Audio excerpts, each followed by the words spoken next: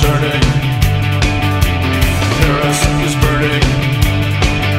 The lines are blurring.